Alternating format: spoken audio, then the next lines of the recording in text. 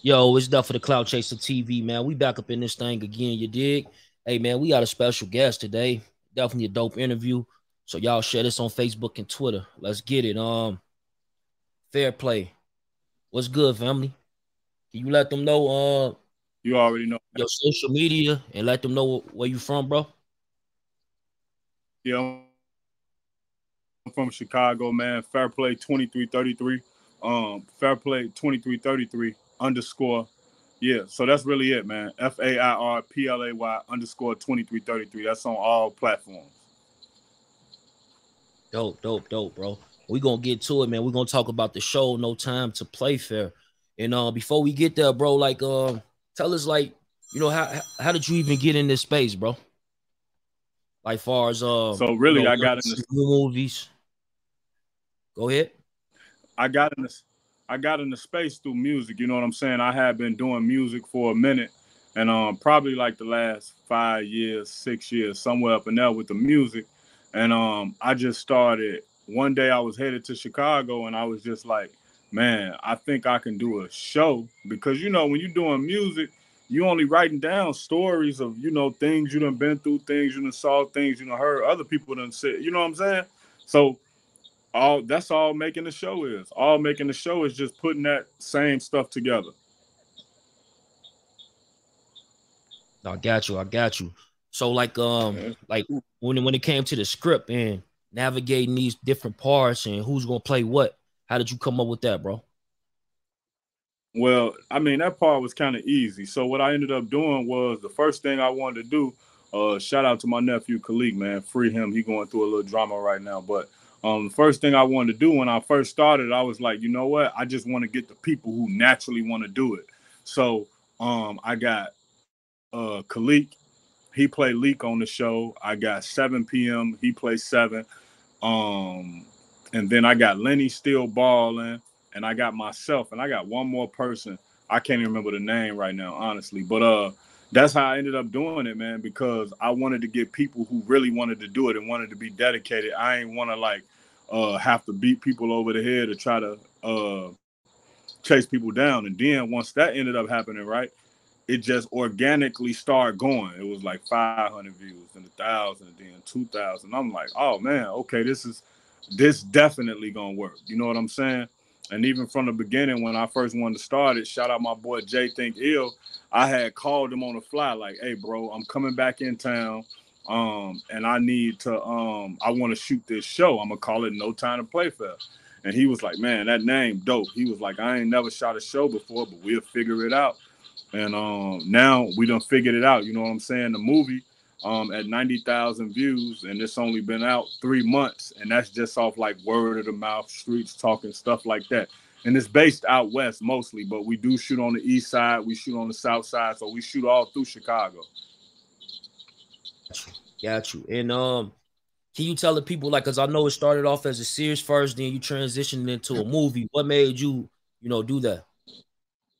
Well, the first thing I wanted to do, as far as like just starting it off like that, I wanted, I didn't know what it was gonna be. You feel me? So I wanted to try to test it out. So the first episode was only seven minutes, and I did that on purpose. I wanted it to be short. One, I only had a few actors that I was working with, but then two, I wanted to give people something that they could look at quick and decide in the beginning, like, okay, I'm fucking with it or I'm not. You know, a lot of times you do stuff, and if it's too long, or if it take too long to draw out, a person might look at and be like, man, this is taking too long to get to the action. I don't understand that. So even with that thought, I started it right off with a robbery scene. Somebody creeping into the house with a mask on. Um, just you know, just just to start it off with some action that people would see it and it'll instantly grab their attention. Oh, no doubt, no doubt. And um, so you going now, you, you got the movie out, right? And then you transition back on into the series. Do you start the scenes off where the movie left off or where the series left off? No, nah, so um what we do with the series is basically the series episode one through six, season one, episode one through six, and that go directly to the movie, right? So the movie is just the series put together um, with like some scenes that wasn't left in there. So if you look, you will see something that you didn't see the first time. You'd be like, oh, I didn't know that was in that. Oh, when that happened, that type of stuff, just to get them something exclusive if they watch the movie. But that's basically how I do. I, I shoot the series to give it out for the people who want to watch it day by day. You know what I'm saying? And then um, I get a movie to people who like to sit down and watch movies. And like I say, so when the movie dropped, I dropped the movie um, three months ago, like back in April or something like that, right? And soon as it soon as it hit in April, I'm watching it, and then it's just like I right, uh, a thousand views, two thousand, five thousand, ten thousand, like the first day, and I'm like, damn, this shit going crazy. I'm like, I knew it was gonna work, but I didn't know it was gonna work this fast as far as the movie go. No, I got you. I got you. And um, like, what direction are you taking the new season?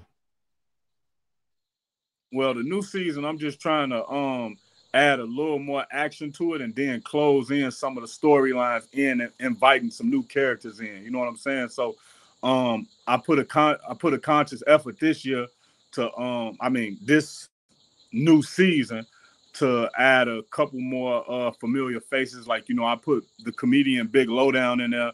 That's one of my boys from the west side. And then also I put this girl named Jazzy in there. Um she got like a lingerie line and different stuff like that. Um, she do like lashes, but she also got like a decent following on Facebook, and you know people really gravitate to her. So I feel like that's going. And I just want to put representations of different type of people in there. You know what I'm saying? When you look, when you look at No Time to Play Fair, you're gonna definitely be able to look at and say, "Oh, bro, remind me of this person I know. Oh, that person remind me of how I used to be." or that person remind me of what I'm going through right now. And that's how I want it to be. I want everybody to feel like they represented in that um just in the way it go, you know? Oh, that's dope. That's dope. And I, I did notice that you had some familiar faces in the um, you know, like the comedian low down. Like, was it like you already had a relationship with these people you saying, right? Well, yeah. So um Lowdown, he from the west side, you know what I'm saying? I'm from the west side originally too. So um, me and him had a mutual friend. He actually played black on the show. You know what I'm saying? And he go by short fat fella. He also a comedian as well, super funny guy. But he black on the show. No time to play fair. So what I ended up doing was I had called him one night and I was like, "Hey man, lowdown, he funny, bro. Uh, uh, I know him." He was like, "Yeah, you probably know him." He was like, "Man, that's my man." He was like, "I'm finna connect y'all right now." So he hung up and then within like two minutes, he gave me lowdown number. You know what I'm saying? So when I hit lowdown up, we started talking. And then from there, I was just like, all right, let's get some work done. And so we ended up like putting a skit together. The skit where uh when a person tap you every time you talk. So we did that and we did another one about the like playing a video game. And so from there, I was just like, man, this is working so good that I'm just gonna stick with the scripts because the scripts, I mean the skits, is just like another part of acting anyway. You know what I'm saying? No and doubt, no doubt. That's dope. That's really how it materialized. And so as far as yeah, like the schedule, like we uh, had to get that done. As far as the scheduling, like you know, for the people that's looking forward to the episodes, what, what type of schedule is it? Like weekly, is it monthly? Like, um, how often do you drop an episode? So really, I'll be trying to drop it like every month. You know what I'm saying? I like to give it chance to breathe, give people a chance to catch up on it and see it.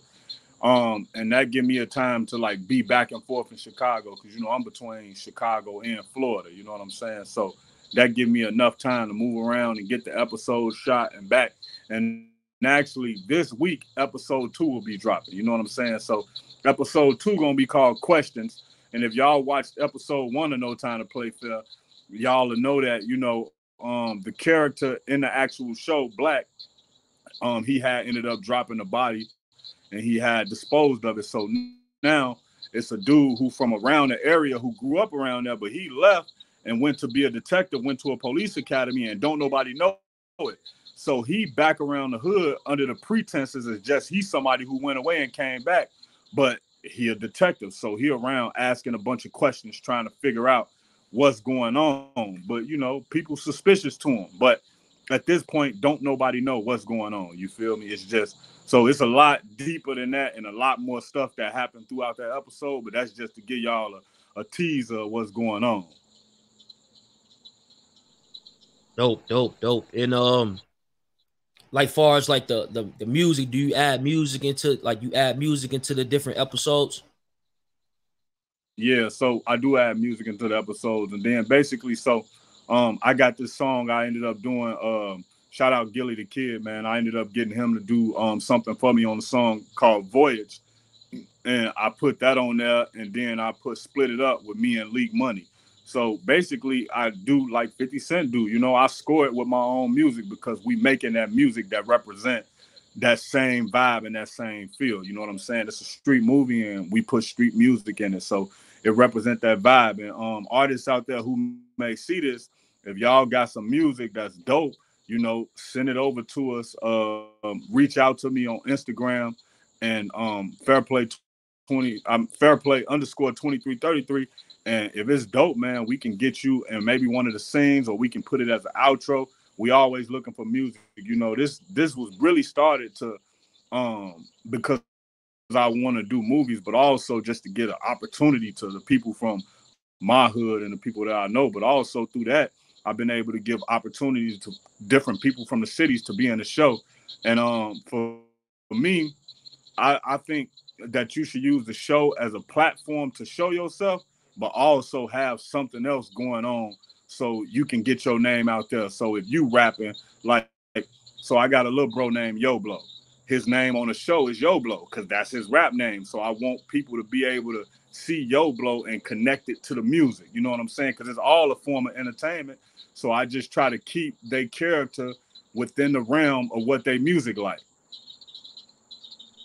As far as like the actors, like the people that's not into music, but say they want to be on the show, is it the same setup? Contact you behind the scenes to uh, possibly get a role yeah, on the you show. contact.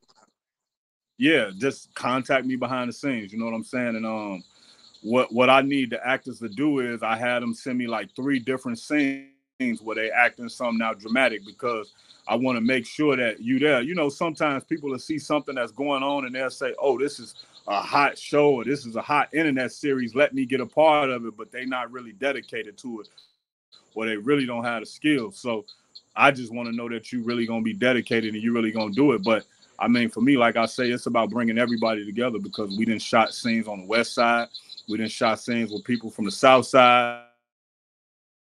Um, we got a blogger that we not gonna announce yet but he gonna be a pivotal part of the show, and he pretty big um, with the blogs in on YouTube, so millions of views, and I think he gonna add something real huge to the show. That's gonna be another element that I've never seen nobody doing a movie, so I don't want to give it away, but it's gonna be dope. Dope, dope, bro. And um, before we get up out of here, is anything you want to leave us with?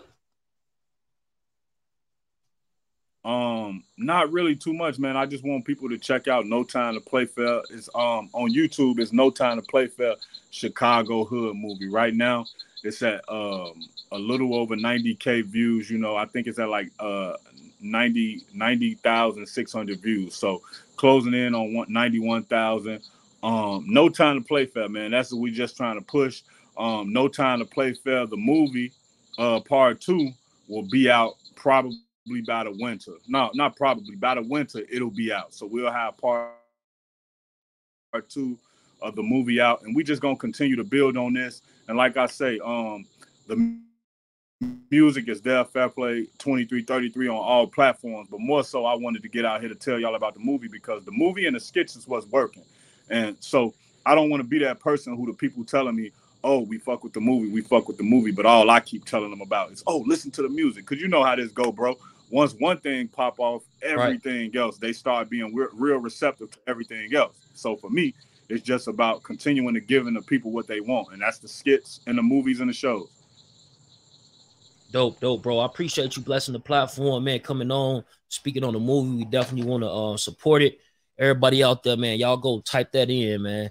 No time to play fair, man. And uh, fair play 2333, man, on all major platforms. He said fair play underscore 2333 on uh, Instagram. So if y'all want to get in tune with them, far as you know, getting a role on the show, far as shooting them some music that you think that could help the show, you know, I'm saying y'all get that done, man. I appreciate it. Yeah, man, I appreciate you having me on the platform, man. You know, I don't, I don't watch the platform come from having like I think maybe fifteen thousand when I 1st mm-hmm. got in tune with it. Now you in the 75,000, 76,000, probably close to 80, honestly. I can't remember yeah, the exact number, 80. but I know man. Just 80. Yeah. See 80 and only gonna continue to be better because you get that authentic news. You know what I'm saying?